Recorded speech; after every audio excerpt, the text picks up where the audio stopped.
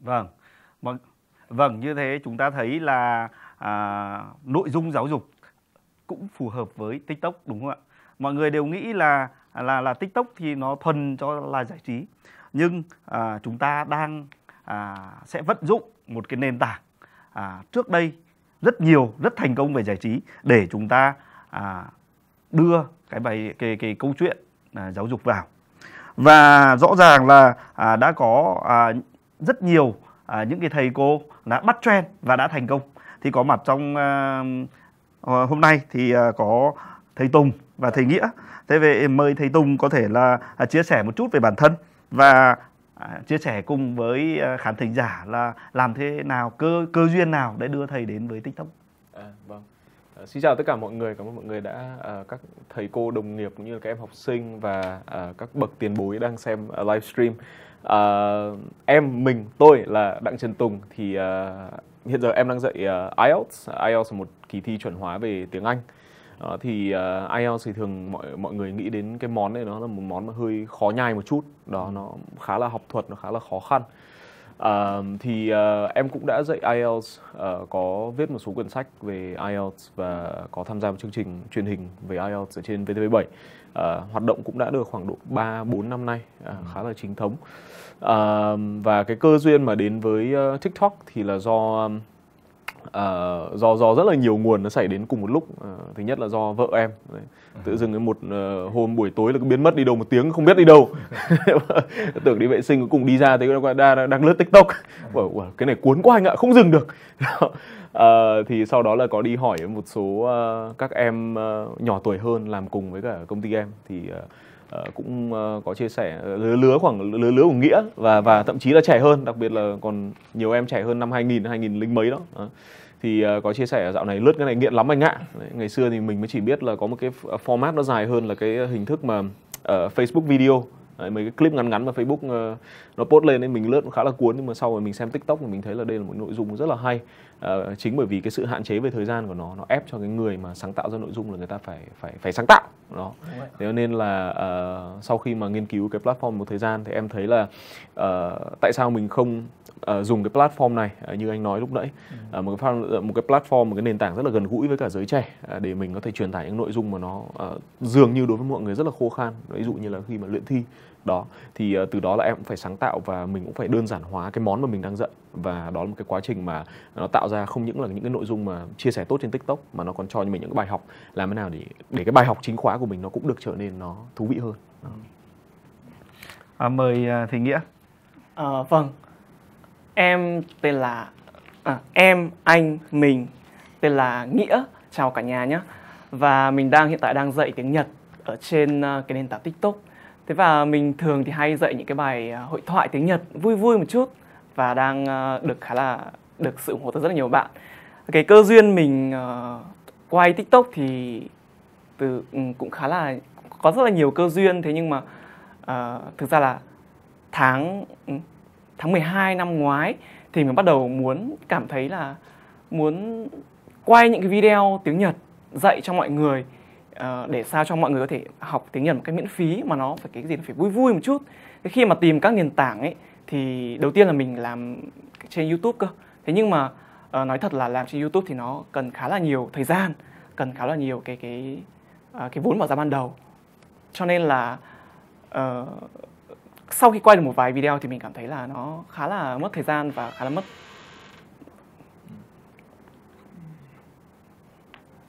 khá là mất thời gian cho nên là cuối cùng đã chuyển sang TikTok.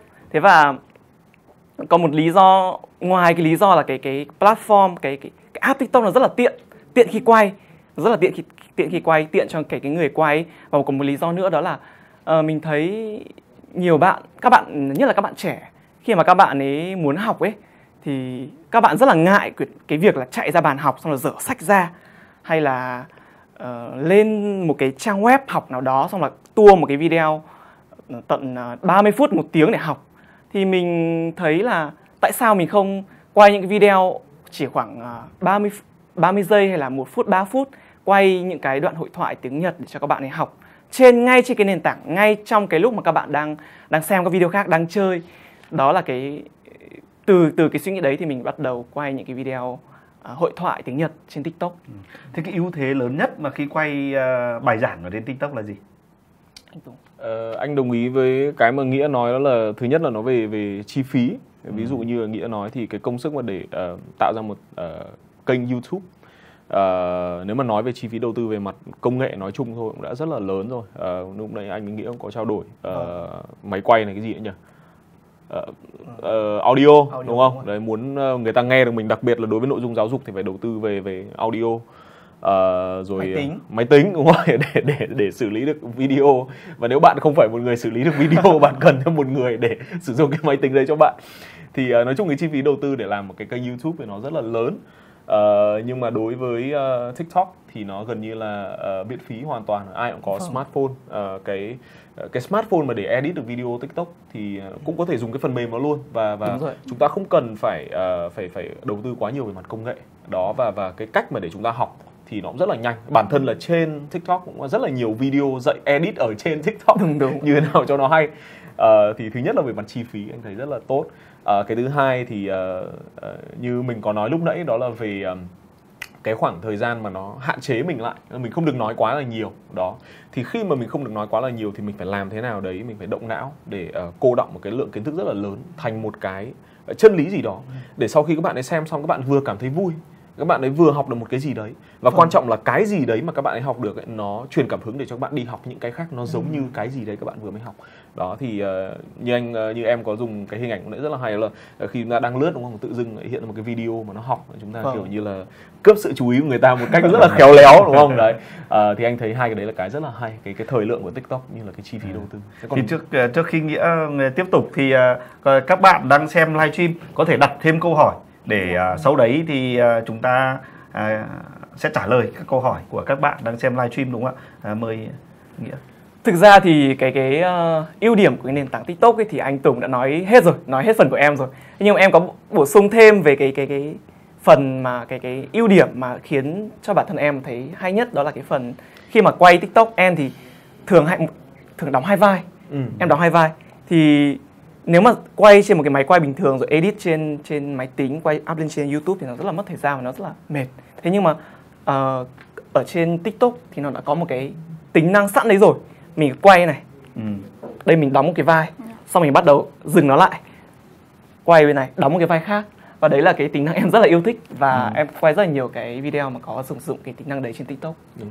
Ừ. bản thân là khi mà mình làm một cái kiểu video về YouTube mà mình muốn làm một cái tương tự như vậy thôi thì trong cái khâu quá trình setup là là là đầu mình cũng đã suy nghĩ là ok mình phải quay trích đoạn ở bên bên tay trái trích đoạn bên tay phải và sau đó là tải nó về cái phần mềm để ghép nó lại với nhau cũng rất là mất thời gian nhưng mà TikTok mà nó cho mình cái công cụ để mình có thể làm được cái đấy ngay lập tức luôn và anh thấy là cái đấy rất là hợp với cả cái việc uh, giảng dạy cũng khá là bất ngờ ừ. bên cạnh cái nội dung giải trí Vậy không biết là các thầy có thể chia sẻ cho các bạn ở trên TikTok như biết về một cái kỷ niệm vui nào mà TikTok đã mang đến cho mọi người được không không? Anh tổng kỷ niệm vui à? Kỷ niệm dạ. vui. Anh thấy cứ làm làm clip TikTok nào cũng vui. uh, thực ra là kỷ niệm vui thì uh, nó nó có rất là nhiều nhưng mà anh uh, nhớ có một lần uh, quay tiktok đã bởi vì là cái cái một lần mà quay tiktok thì thì mình nên quay là nhiều cái. Lúc mà mình còn hừng hực khí thế mình nên quay nhiều cái bởi vì nó cũng không tốn công lắm. Vâng. Đấy nhưng mà xong cái cái lần đấy anh nhớ là là mình đã plan hết tất cả các kiểu rồi nhưng mà nhà bên trên nó lại đang khoan. Thế là thế là cuối cùng anh cũng phải bỏ dở mất hôm đấy. Nhưng mà cái hay của tiktok là kiểu khoan xong một phát của mình có thể nhích vào luôn một video rất nhanh luôn mà mình không cần phải set up rồi là là là ekip quá là đông đúng không? Thì vâng. chúng ta có thể có những người mà hỗ trợ mình làm các cái video TikTok mà rõ ràng nó sẽ sẽ nhẹ hơn rất là nhiều so với cả chúng ta làm YouTube. Yeah. Dạ.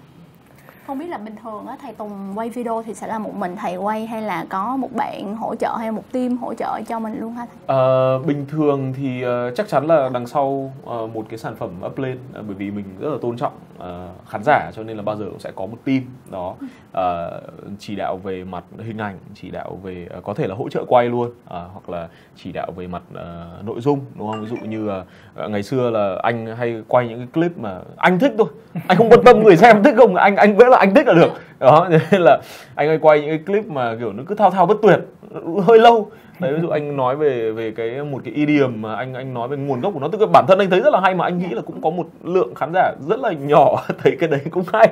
À, nhưng mà sau đó là là người à, có các bạn góp ý là điều điều chỉnh lại cái nội dung một chút để cho à, chúng ta có thể à, thân thiện hơn với cả nhiều các à, đối tượng khán giả khác nhau. Và đấy là một cái mà bài toán mà anh nghĩ là uh, bình thường trong giáo dục thì ít người muốn giải. Đó là làm thế nào để để truyền tải một cái kiến thức nào đấy. Nhưng mà nhiều người có thể xem và đều có thể trân trọng được dù người ta là mới bắt đầu hay người ta là một người rất là advanced người ta đều có thể thích được. Đó nhưng mà với tiktok nó ép mình phải giải cái bài toán đấy. Thì anh rất là thích. Đó. Dạ, dạ vâng ạ. À, vậy thì không biết là nghĩ có thể chia sẻ cho mọi người biết về cái quá trình làm video của mình ví dụ như là về khâu lên ý tưởng hoặc lên Ờ. kịch bản hoặc là quay những cái tip quay video như thế nào được không Ừ, thực ra thì ờ, mình có thể làm luôn không? hay là ừ, ok mình có thể Ừ, có thể làm mình, luôn. mình- có mình thể luôn thử đấy. làm luôn tại trường Ờ, quay ví dụ như là mình ờ, hay quay là những cái video hội thoại chẳng hạn Ừ. thì ví dụ mình sẽ để điện thoại ở đây này mình thường đóng hai vai khi mà đóng hai vai thì nó sẽ có nhiều ý tưởng hơn sẽ có nhiều cái cái cái vấn đề để mình nói chuyện hơn là thứ nhất thứ hai là thỉnh thoảng mình hay giả cái nữa ừ. ờ, hay giả gái cho nên là ví dụ một cái video mình giả gái nhá thì Ừ. đầu tiên sẽ là con trai bình thường mặc áo quần áo của con trai như thế này Ừ. xong quay nói nói một câu hội thoại bằng tiếng nhật gì đó xong tiếp theo sẽ là đến bạn nữ thì lại thay đồ này xong là đeo cái tóc giả thực ra em không mua tóc giả thế nhưng mà lấy một cái áo lấy một cái áo dài tay xong là đội lên đầu Ừ. xong là bỏ đằng sau nhìn nó giống cái tóc giả rồi nói như này và giả giọng con gái Ừ. đấy là một cái cái cái một trong những cái video của mình. Thì cái mình tính năng đó thì sẽ gọi là tính năng cắt đoạn trên trên từng Ờ, video đúng rồi đúng cái không? tính năng cắt đoạn. Ừ đúng rồi. Không biết là nghĩa sẽ hay thường sử dụng cái tính năng cắt đoạn đó hay là sẽ thường là up lên từ trên điện thoại nhiều hơn nhỉ? Thường thì mình sử dụng cái tính năng cắt đoạn bởi vì nó cực kỳ tiện lợi. Ừ. thường là mọi người sẽ quay chủ yếu là bằng ứng dụng tiktok và edit bằng tiktok luôn không đúng rồi đúng rồi. Dạ vâng ạ. Anh thì ờ, anh anh ờ, quay bằng điện thoại Dạ. ừ sau đó là mình up lên để cho nó nó nó nuột hơn một chút đó bởi vì là có thể là lúc mà mình quay ờ, bằng bằng tiktok mình mình hơi áp lực Dạ. đó nhưng mà nhưng mà lúc sau thì mình mình up lên nên quá trình nó vẫn như vậy thôi nhưng mà mình cảm giác là mình có một cái sự chuẩn bị nó tốt hơn dạ Đấy. nếu mà anh quay thì thì chắc là chắc chắc nghĩa cũng sẽ giống anh đó là để mà để tăng cái độ hiệu quả của cái lần quay lên cũng như là ờ, cho nó nuột hơn và mình kiểm soát được lỗi tốt hơn thì mình sẽ viết mọi thứ ra trước. Ờ, đấy, ví dụ như là câu hội thoại hay là ờ, hôm nay tôi lấy từng này từ làm ví dụ chẳng hạn thì mình mình quay nó luôn bởi vì cái cái hay của tiktok ờ, ít ra đối với cái cái thể loại mà anh quay ấy, thường là anh quay một phát one shot đó. Cho nên là là anh phải nhớ hết tất cả các ví dụ nếu không kiểu mình đang quay nó gần cuối cái video tự dưng quên cái ví dụ cuối phát để mình phải quay lại từ đầu nó nó hơi mệt đó. Thì có thể là một tip đối với với những thầy thầy, thầy cô đang muốn tham gia vào phong trào 3 phút giúp trò ờ, có thể nghiên cứu. Đó chúng ta nên viết ra trước cái cái ờ, một số các ví dụ. Không nên viết kiểu từng câu mình sẽ nói là cái gì thì thì nó hơi mất tự nhiên rồi nhưng mà chuẩn bị trước thì chúng ta quay sẽ nhanh hơn và tận dụng được cái sự ờ, ờ, tối ưu và tốc độ của tiktok. Dạ. Vâng. Vâng, rõ ràng là à, để quay một cái video giáo dục trong thời gian 3 phút không phải là một cái gì đấy quá khó đúng không ạ? Và để tiếp theo chương trình thì à, à, mời tất cả các à, khán thính giả tiếp tục chúng chúng ta xem một cái video để mà à, biết được cách chúng ta sẽ tham gia vào à, cái cuộc vận động 3 phút giúp trò này như thế nào. À, và chúng tôi cũng à, xin phép được chào à, quý vị à, khán thính giả luôn và hẹn gặp lại trong buổi talk show tiếp theo. Xin cảm ơn. Các thầy cô có thể tạo tài khoản bằng hai cách. Cách đầu tiên là sử dụng Gmail. Các thầy cô chỉ việc nhập email và mật khẩu Gmail là có thể tạo tài khoản trên TikTok. Cách thứ hai là sử dụng số điện thoại. Các thầy cô nhập số điện thoại và TikTok sẽ gửi cho các thầy cô một mã xác nhận. Các thầy cô nhập mã xác nhận là đã tạo được tài khoản. Cách để upload video 3 phút lên TikTok. Đầu tiên mọi người sử dụng cam thường quay sẵn một video theo tỷ lệ 16 9 dọc. Một số lưu ý về nội dung như sau. Video chia sẻ trọng tâm, ngắn gọn dễ hiểu, tập trung bài học và hình ảnh âm thanh rõ nét. Mọi người nhớ chọn cho mình một góc có ánh sáng tốt, background gọn gàng để video nhìn trong chuyên nghiệp hơn. Nội dung ngắn gọn, đặc sắc, tạo cảm giác hứng thú cho người xem từ những giây đầu tiên. Sau khi hoàn thiện video của mình, các bạn mở app TikTok, sau đó click vào dấu cộng ở giữa màn hình để tải video lên.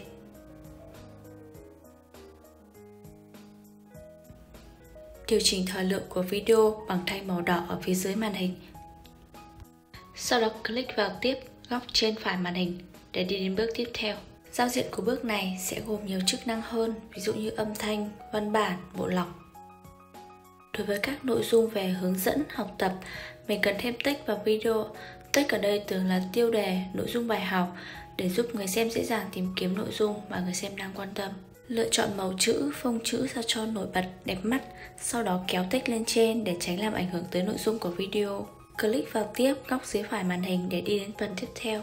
Tại bước cuối cùng có 3 phần quan trọng, đó chính là mô tả của video, hashtag và lựa chọn ảnh bìa cho video. Phần miêu tả video chúng ta có thể tóm tắt nội dung bài học, đặt câu hỏi để tăng tương tác với người xem video. Ở đây chúng ta có 3 hashtag chính là education, 3 phút giúp trò và learn on TikTok. Khi thêm hashtag vào video sẽ giúp người xem tìm kiếm được những nội dung tương tự cũng như giúp TikTok đề xuất nội dung đến những người có sở thích phù hợp.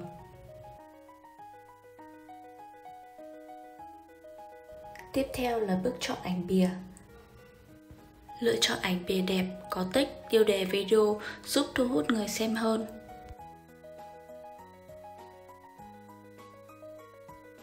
Sau khi lựa chọn ảnh bìa cho video, cùng kiểm tra lại một lượt về tiêu đề, hashtag, ảnh về đẹp. Sau khi đã hài lòng, click vào đăng. Chúc mọi người thành công!